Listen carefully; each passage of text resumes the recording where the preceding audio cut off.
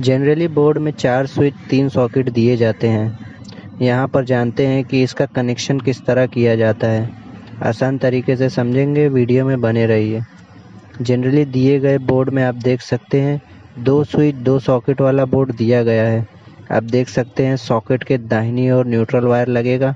Tester की मदद से आप वायर में टेस्टर लगाकर देख सकते हैं लाइट नहीं जलेगी। जिसमें टेस्टर लाइट दिखाए वो फ़ेज़ वायर होगा। उसे बटन के निचले हिस्से में डाल दें और बटन के ऊपर वाला हिस्सा सॉकेट के लेफ़्ट साइड में लगा दें। सॉकेट का थर्ड पॉइंट अर्थ होगा। इसे ज़रूर लगाएँ। आपकी आसानी के लिए वायरिंग डायग्राम अटैच कर दिया है।